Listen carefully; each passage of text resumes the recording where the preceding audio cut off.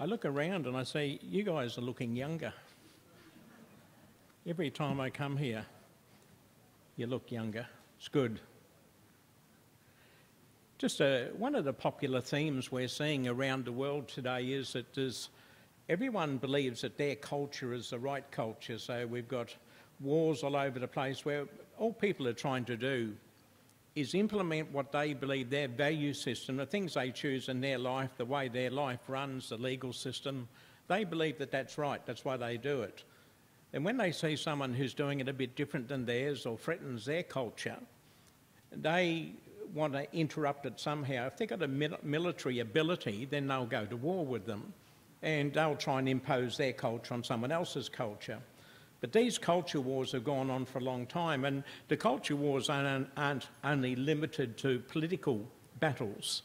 We see there's a culture war between rich and poor, between the educated and the non educated, between males and females, between the young and the old. We see these battles are happening all over the place, and they're not leading our world to a better place. In fact, if we look around, we probably see in this country, this country is more divided now than it's ever been in its history and it's not going to improve.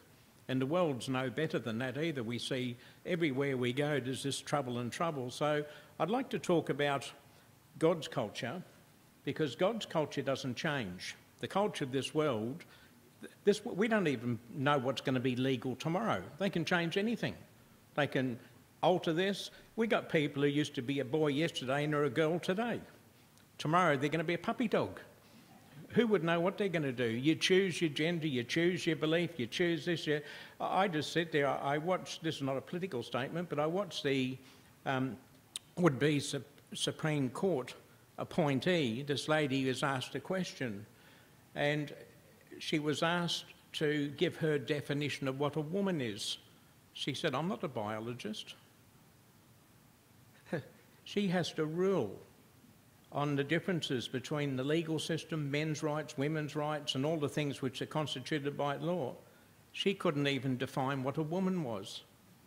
And I think, where are we going to when the people who rule over us cannot even work out their own culture? They have to keep reinventing it. So we, I thought we'd have a look at God's culture. But why? Because God's culture is consistent. The salvation message that God preached through Jesus Christ, as opposed to what religion is jumbled up, and of course, there's thousands of religious cultures around the world too, all varying one from another. But there is a consistent culture in the scripture. And when Jesus Christ was asked how, how the church would be formed, he made a list of signs that would follow believers. He said, This is how you can work out those who have got my culture. I'm using other words, but they're saying exactly the same thing, just simply for clarity of uh, purpose today. How are you going to identify those who are walking in God's culture? He said, These signs will follow them that believe. And he listed a variety of miracles which would identify people who were of God. Now, not one of those signs he identified was that they prayed a lot, or they read a lot, or any of those things. They were actually all outward manifestations of miracles which God was doing in them personally and it became a personal culture for everyone. The term we use is to be born again. And when you're born again, you're born into a new culture run by a different set of rules and, and balances. And this culture that we enter into, we call it salvation, born again, new life. There's a whole series of words. But ultimately, it's just God's way of giving the human race the life that they could have had and should have had right from the beginning but because human government, human rule is totally corrupted God's system, he needs to do it another way. And that's exactly what happened. So 2,000 years ago, approximately, when uh, the day of Pentecost came, people who were gathered in prayer received the Holy Spirit, and for the first time in Bible and historic reference, people began to speak in this language that God gave them. And this language was a pure language as described in the Bible. It was a supernatural language. It was a, a, language which dealt with issues which we couldn't deal with. And there's a whole lot of descriptions of the benefits of it, which I won't cover. But the point was, this was the beginning of a culture. Now, a lot of people, when they come to Lord, we know that we're asked to repent, be baptized in water, because that's what God said would work. And we're asked to receive the Holy Spirit, to pray. Now, for some of us, Receiving the Holy Spirit took a period of time. Some people have been a couple of years because in their heart and mind they just took a bit of time to get the sums done, to get themselves to a, what you might call a, a place of repentance which God was able to respond to. And God responds when you're in the right place in your heart. You just instantly speak in another language. And that is the seal of God uh, on you that you've entered into this spiritual culture. But this is a two part culture. God's culture is you need to enter in first to be one of the inhabitants of the city, just metaphorically speaking, in other words, one of God's people, one of the saved. But part two of the culture is that you need to walk in that spirit. So part one is relatively easy to comprehend, and part two is very easy to comprehend.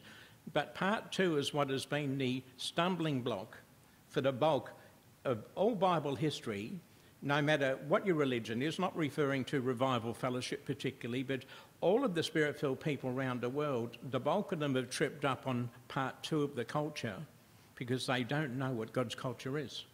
They've never been told how part two works because most of the time, many of them don't even know what part one is. They can't define it. Some people see receiving the Spirit, speaking in tongues, having miracles and signs and wonders as a, a, process where that's just a bonus added on top of your believing. But the Bible doesn't talk about a bonus on top of your believing. In fact, on the day of Pentecost, when they received the Spirit, they spoke in tongues. The book of Acts is a record of the actions of God working in the people through a historic period of time. How did they know they received the Holy Spirit on the day of Pentecost? They said, We heard them, we hear them speaking in tongues. Not we saw the, the dove come down from heaven like they appreciated with Jesus. They said, How do you know? And they said, Well, we heard them. What does all this mean? And of course, Peter then stands up and he explains Joel's prophecy about the outpouring of the Holy Spirit, and this is what has now happened. And they looked at each other and said, Well, gee whiz, we're guilty of the death of Jesus Christ. A lot of us were very happy to see him go. And our nation, identifying within the political culture, our nation killed him. What can we do? How do we get out of this mess? And he simply said, Repent, be baptized, every one of you, and you shall receive the gift of the Holy Spirit. And he said, And this cultural promise will go on not only for the people of this time, not only for the people of the next generation, but for all those who are far off, even to the end of the age. This is how this culture will flow. So he made it clear to the people this would be the sign. Then later on, and we move, skip through to Acts 10 and 11, a few years later, the Gentiles received the Holy Spirit. Now, how do we know they received the Holy Spirit? How do we know that they were born again? The Gentiles, who were the enemies of Israel, they had no political or bloodline culture to identify with, and yet when they received the Holy Spirit, they too spoke in tongues. And uh, it was spoken to the people that they have received the Holy Spirit just as we did. In other words, we've got exactly the same cultural markers as they had. The same cultural markers that the Bible identified, the same cultural markers that when John said, when the Spirit comes, you'll hear the voice of it. And uh, you'll hear it like the wind, the Spirit. You won't see the Spirit moving, but you'll hear the voice of the wind, the wind being synonymous with the Spirit. And he said, So it is with all of them. They would all have this sound of the wind coming out of them. And that was just another one, but the Bible's loaded with them. But these identified a working culture which God could do with people, and they equally identified the Gentile conversion. He said, we, For, we heard them speak in tongues. Again, that was just the identifier that they were part of that culture. And it moved on. So I'd like to move into the second part of the culture. This is overcoming, because this is the one that really is important for all of us being part of the Spirit. Matthew 22, verse 37, you might like to turn there because this is a two step rule. And they were trying to trip Jesus up, and they asked him this question in the process of trying to trip him up. They asked him to summarise the Old Testament principles into what he was promising would be a fulfillment. Now, many of these people couldn't even answer questions themselves, so they sort of figured if they asked Jesus to answer these questions, they would surely trip him up. So they asked Jesus to summarise somewhere around 500 plus thousand words in a sentence or two. And this is how he responded to that question. Jesus said unto him, Thou shalt love the Lord thy God with all thy heart, with all thy soul, and with all thy mind. That's part one. That was the summary of part one. Now, I'd like to define what the word love here means. Today, probably the catch cry of this generation in the West is it's all about love. Everything's love. Love this, love that. You've got to love your brother. God's a God of love. You know, we get this thrown all over the place. Most people don't know what the Bible means when it uses the word love. Does it mean feeling warm and fuzzy? Well, it can do. But Bible doesn't talk about love in those terms. When the Bible talks about love, God talks about servitude. God's love is actually an action. It's a verb. It's a demonstration of his belief. God doesn't think things and doesn't believe things. He's actually, he does things. When God loves you, he does the loving. He doesn't think the loving. He provides. He turns it into an action. When we receive the Holy Spirit, we love the Lord. How do we love the Lord thy God? We love the Lord with action. We don't all sit at home going, I love God. I have good feelings about God. I love his word. And we sit at home. Well, I'm sorry, that's not what it's talking about, but we know that. And this is what gets exciting because we understand something here which a lot of people never grasp. That for those who love God, they do what He asks. If you're married and you love your partner, you provide for them. That, that's what love is. Love is a provision. You can't tell your wife you love her, then never uh, do anything, never earn an income, never do any of the housework, never do any of the responsibilities. That's not love. Warm, fuzzy feelings aren't very satisfying for a period of time. You need action. So, the first part he said here, Thou shalt love the Lord thy God with what? Your heart, your soul, and with your mind. That's not three different versions of fuzzy. That's three versions of discipline and doing. And it's really good because we know under the old law we can read hundreds of pages on how they serve God and the benefits. But in this covenant we're in, we're in a culture of great blessing which has never been seen on the earth before. We're part of this new culture. So he summarised part of this understanding of what it is that would rule, the golden rule. Now, verse 38 goes on, and I guess it puts us right in a place where the clarity of what's said here is beneficial to us. It's a, a, bonus to all of us to have this so clearly spelled out. He said in verse 38, This is the first and great commandment, referring to the last one. Then he goes on in verse 39 and says, Likewise, along a, a similar path, the second is like unto it. Thou shalt love thy neighbour as thyself. Not you shall have warm, fuzzy feelings about the people around you, but you're actually going to do for them what God has done for you and which you do for God. Servitude. See, Godly's love, God's love is a doing word. It's not a, a thinking word. It's actually a, a word of action and deeds. And it's very important. Now, there is actually a little summary to this, and I'd like to take you there. It's in Acts 20, verse 35. And this is a summary of the summary.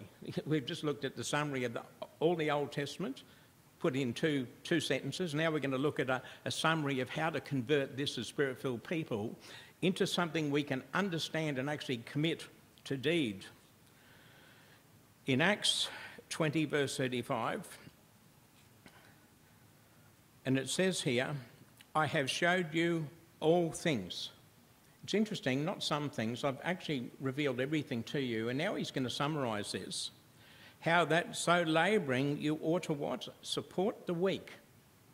Part of our duty as a spirit filled person, God knows that we have to work. God knows that we've got houses to care for. He knows we've got clothing that need attention. We've got to mow lawns. We've got to wash cars he knows all that. That's not aside from all that. That's all part of life and responsibilities which he said he would bless with us anyway. But when we turn to the spiritual arena of responsibility, we see these words here that we should support the weak and to remember the words of the Lord Jesus Christ, how he said, and this is a, a golden principle. He said here, it is more blessed to give than to receive.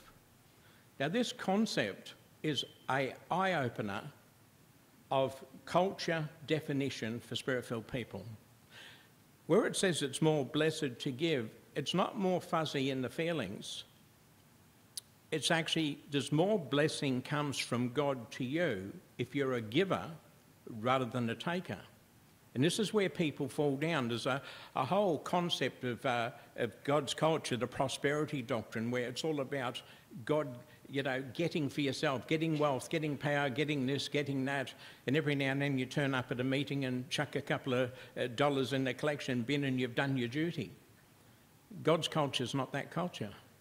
God's culture is actually the reverse of that culture. God's culture is, he said, you will receive more blessing in your life. Now, blessing just doesn't mean spiritual uh, power to you.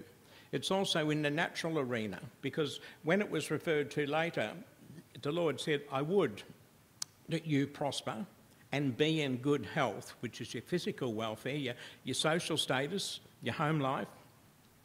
He said, I would that you prosper and be in good health, even as your soul prospers.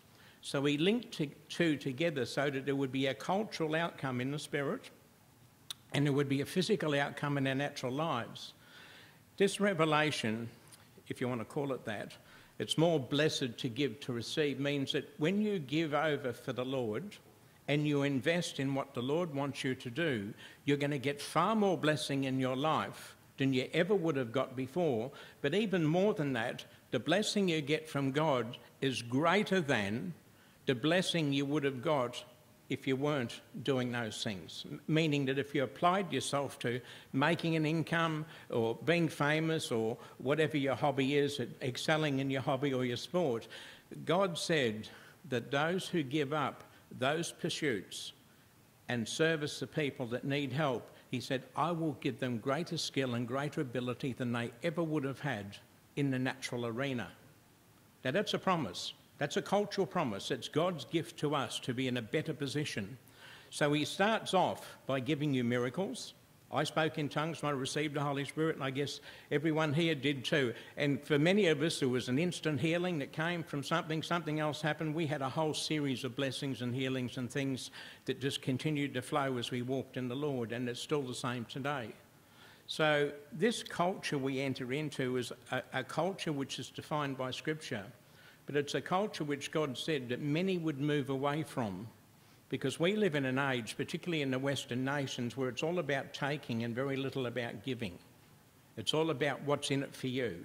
This is my life. Who's, no one's going to tell me what to do. Well, I'm very sorry. The governments of this world tell you what to do, whether you like it or not. That's how it is you try and argue with the taxman and find out how it is to do your own thing and how successful you are with it. You'll, you'll uh, be done in because they, you can't defeat the government you, and you can't defeat the Lord either. So our fellowship, it's a, a blend, an uncompromising blend of God's culture and out of the world we live in, we, in, we bring into the church or into our lives the world's culture which doesn't work against the Lord's culture. So we've got a lot of good things happening in this world, and I won't go through and name them all, but we, we all understand the benefit of marriage and children and those things. We have employment, we've got uh, medical assistance, we've got a whole variety of government assistances for people and so on. We have no trouble adapting those cultures, but quite often the world starts reinventing the laws of morality or the laws of ethics and it's so corrupt these days that rather than correct the people who are doing the wrong thing, they just legalise it. And that way they're no longer doing the wrong thing. That's how stupid this world is. When everyone's stealing, oh yes, well, stealing's now legal. When everyone's driving with their hands off the steering wheel, well, of course it's legal. What do you expect? That's the type of mindset which permeates many governments because they can't deal with reality, so they have to change the law. They have to change it because they don't quite often have a moral or an ethical bone in their body because they don't understand what that is. Because our culture says whatever feels good, do it. Whatever you believe is right, that's right. Whatever you think. And as I said, we look around the world today and I've never seen a sicker world. You know, you can, I get up in the morning and I say to my wife, Am I a man or a woman? did something go wrong through the night? And she said, Something goes wrong every night. So. Thanks for that. Anyway, so we haven't got a clue according to the law, what we're going to be or expected tomorrow, but under God's ethics, under God's culture, we have consistency. And that's why we fellowship. That's why we read scriptures like this to tell us what God's culture is. And for the, the spirit filled people around the world, they always hit the wall when they let the culture they live in overrule the culture which God has asked them to walk in. And that's important to take on board. I've got um, a couple of things here. I'll just read out of, um, I read out of Acts 35. It's more blessed to give than receive. For a moment, I'd just like to talk about our value as people in the church. What are we like? You know, like we look around, we see some people far more gifted, far more skilled than we are. We see some people who just naturally share their testimony with other people and we're quite often too nervous. We see some people just chuck a pamphlet out and someone will do this and we can't do it. Someone gets up and does their testimony and think, oh, if I had to go out the front, I'd faint. You know, we've got people, but we've got multi-talented, multi-skilled people which all have a different role to play in the fellowship. And I'm not going to particularly go into all these roles because it's not my point. So I'd like to make a point how vital every one of us is. Now, we've got a, video I'd just like to play. This is actually a marimba band, and it's out of, um, it's out of America.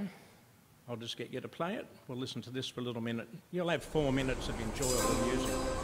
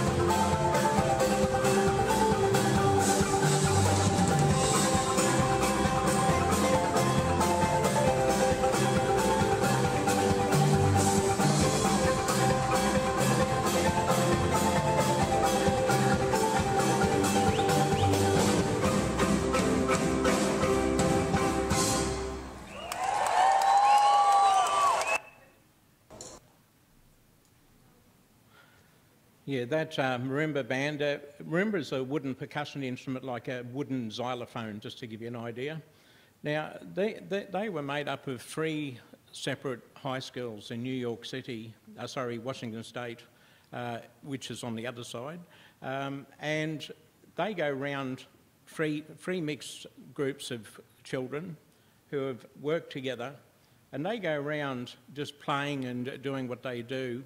And the point I wanted to make out of this, outside of being uniquely different and very entertaining, 14 players there, sometimes they have 18, sometimes 17. Those 14 players, every one of them comes from a different family. Some are rich, some are poor. Some are broken homes, some are not healthy people, some are very brilliant in their academic studies, and there are a diverse group of people. But you might have noticed the girl down the front left hand side, her job, dunk, dunk, dunk, dunk. She did it.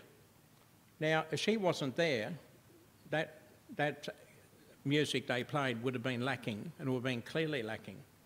In fact, every one of those people had a role to play, and outside of all their natural lives and outside of all their natural circumstances, when they get together, they're in harmony. The church is the same. We've got a worldly responsibility, we've got duties, but when we come together in the work of the Lord, we're a unified team of spiritual believers who have something to offer. And this is what God presents to church before the world as a unified group of people who've got a cultural input to give them, something they can listen to, something which will change their life. Now, music in this instance was entertainment, but for us, we're giving people eternal life. We're giving them the knowledge of how to be born again. We're showing them how to have a, a sustainable life and a life that works. When you think about these people, they all have to go home to something different. Not every one of them's happy. Not all of them are uh, as skilled, and yet every one of them made a contribution, which was remarkable. There was no, there was no errors anywhere in that whole uh, uh, music. In fact, at the start, you might not have noticed that one of the girls in the middle nearly knocked her, her um, marimba over and had to correct it and correct the, uh, the echo tubes before she started, but she started on time. And uh, you saw the gentleman going around the uh, marimbas all having the time of their life, sharing each other's marimba and just working in a circle, all playing sometimes two or three under one marimba. They were doing it. It was so, in my eyes, it was so synonymous of a church which is presenting the Word of God and living that Word. And while we are doing this, it's God's harmony. The Word of God is blessed in all of us. Now, bouncing off that, I'd like to take just a closing thought. I'd like to turn to um, Matthew 25, verse 41. We know scripturally that the Lord has asked us to forbear one another, to forgive one another. If everyone has a quarrel, resolve, resolve it, don't let it continue. We're told to develop a bond of perfectness. That's not what I'm going to read now, but this is in Colossians 3:12 if you're taking notes just develop a bond of perfectness. So when those musicians all started playing, they had a bond of perfectness. They were there to present what they presented, and they presented it. And they did a really good job. And all the other things they do, I think there's only four recordings. You've got to sort of scour YouTube to find everything they've done. Uh, they're all excellent works, but that one was the best uh, sound and also the best video work compared to the others. So um, they're not a professional group, they're volunteers. So God has asked us to consider the harmony of what He wants, and He didn't want any of those players. I'm sure the guy who wrote the score for the marimbas, because he had to convert it over to a whole variety of differences, he didn't want someone to play their own tune or do their own thing. He needed to keep them with the common cause behind them, and the church is really no different. God has given us a common calling. Go into this world, preach the gospel, save the lost, recover uh, those who have fallen by the wayside and bring people to a place of unity. But the place of unity is playing God's music, not playing our own. Doing what God wants, not what we want, and then God will bless it. Now, interestingly, and I, look, I find this very comforting because one of the greatest comforts I have in the Lord is I know what God wants me to do. I know what God wants me to do. And sometimes we think, oh, I don't know what my job in the church is. Yeah, can I tell you? Serve your brother. Love your brother and sister. That's your job. That's, that, that's as deep as it gets. Your ability to do this will expand with time. Your ability and wisdom to make these things work will multiply as God gives you the gifts and the talent to uh, do the work He wants. That's how simple it is. Serve the people. Now, I'd like to close on this point because it's a very important point. And I believe that so many of today's spirit filled people, again, broadly sweeping a brush around the whole world, they don't know actually what this means. Many of them can't identify the Spirit in them as being salvation. Many of them can't identify speaking in tongues as a sign of salvation. Many of them don't know that prophecy and interpretation in tongues at the time of the gifts was edifying for the whole church. They're not aware of that. They're not aware that Paul told them that they should come behind and no gift, that their whole role was to be a servant of God. Why? Because you want a good life? You want to be well catered for? You want your life to be happy? You want a good future? Then let God take care of your future. How do you do that? Yield over and be a servant of the Lord. It's as simple as that. And there's no complexity in that understanding. It's when we start trying to reinvent ourselves or reinvent the Lord, that's where the trouble comes. I'd like to read these verses. This is the parable of the sheep and the goats. The reason I'm going to read it is because it's the only parable that takes us through time and space and puts us into the immediate point of the Lord's return. And he explained things here which again just further emphasizes that the cultural war we fight is against unbelief or spiritual wickedness in high places. Now, sometimes people think spiritual wickedness in high places has got to be the Pope, or that's got to be the Antichrist, or it got to be that? Well, let me tell you, the Pope isn't in a high place. Hey, what's this? The temple of the Holy Ghost? This is a high place. When the Spirit of God dwells in you, that is a high place. And it's spiritual wickedness in high places that is going to cause a problem. That means that spirit filled people who don't know who they are can't identify their calling, don't follow through with the calling that they should be, that this spiritual wickedness in high places is going to cause the downfall of so many spirit filled people. And not only yourself, but those who listen, those who hear. And that's why he gave us such a wonderful insight to grasp this and go, I can do that. I know it. I can actually explain this. I can talk to people about this. This is so, so simple. Why? Hey, that's how our family runs. We raise our children. Yeah, there's dirty nappies from time to time. That's what God made wives for. So they could hand it to their husband. yes, we had a rule in our house. If it was messy down below, the wife looked after it. If it was messy up above, I looked after it. So that worked well. Anyway, Let's look at Matthew 25 41 because we've got a, a, definition or an explanation which just so wonderfully fits in with the culture that God wants us to be thinking about. Now, well, I'm not going to read the whole thing, we don't have time.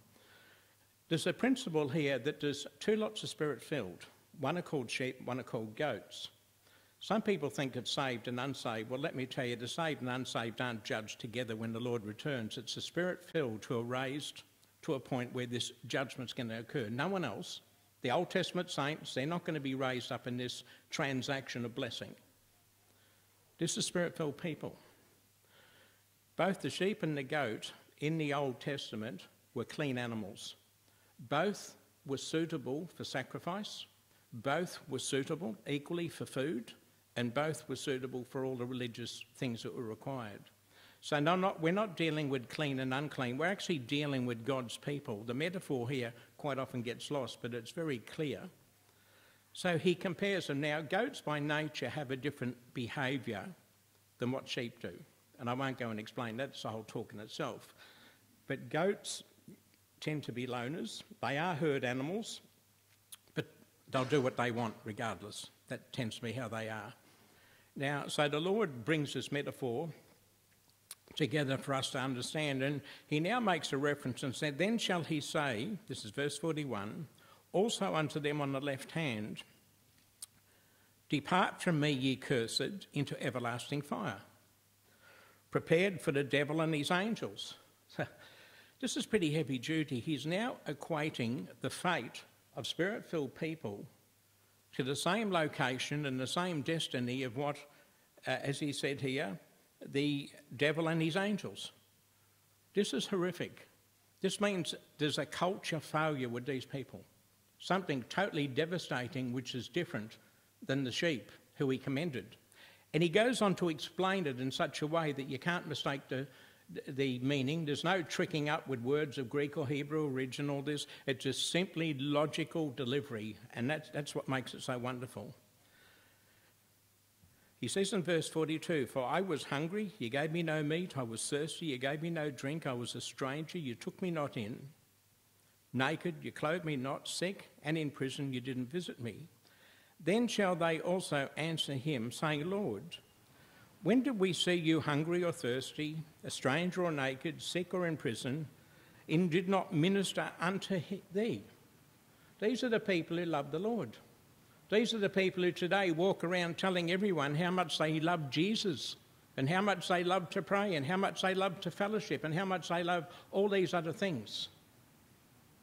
But why are some rejected and some accepted? It's not trickery. There's no double standard here because he answers the question. And I love this because those who I, I, walk in the Lord with, those surrounding us through our fellowships around the world, particularly in countries like uh, New Guinea or in Fiji or in Nepal, where you've got a, a, different world order, a different type of culture, they're coming out of their cultures, they're doing this, and their lives are improving dramatically. We see it, we hear it, and we rejoice in it because they pick up this fundamental truth that so many people miss.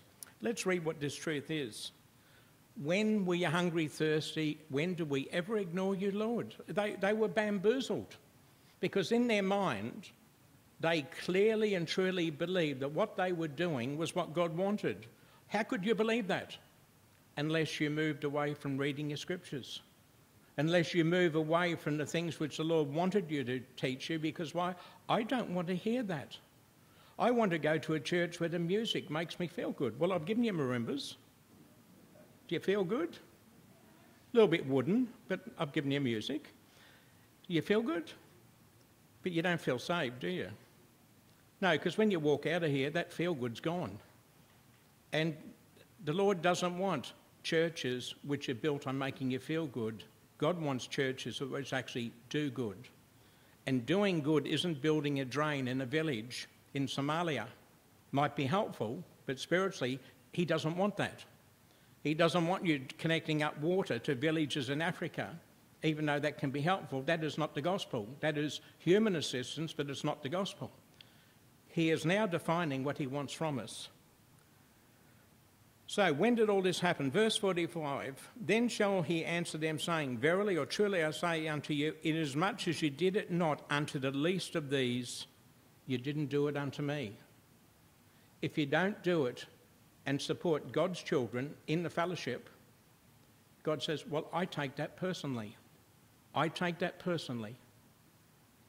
Because you couldn't serve my people because you couldn't set time aside to see fellowship for what it was in its entirety and its purity and its spiritual reason, because you were too busy making money or looking for the boyfriend or the girlfriend or looking for fame or fortune or maybe just plain bone lazy, because you're too busy following those other things, he said, I have nothing for you. But it's not my judgment. You chose. I told you how it worked, but you chose. You chose not to do this. Meeting after meeting after meeting, the gifts were there, the word was there, but you didn't want that, so what did you do? You went somewhere else where you get another message. You go somewhere else where you're told God loves you. Doesn't matter what you do, God loves you. That's not what God speaks about. It's not what He wants. So He goes through this on purpose to give people part two of the golden rule. This is my culture. Serve one another.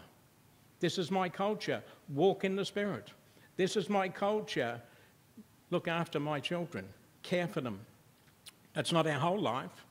Our whole life includes wife, marriage, children, whatever, or if you're not in that position, other responsibilities. God knows all this, but the culture is the servant's culture. It's the servant's culture which God blesses, and the ones who have chosen an alternative culture than that, He said, Well, you're heading off to everlasting punishment, meaning you've made your choice. Your choice wasn't to get my blessing, your choice was to get happiness in this time at the expense of my blessing. He said, I'll give it to you. You've had your happiness, and when the Lord returns, that's all you've got because you're not getting any more. But it was a reflection back on the individual. Your choice, you do it.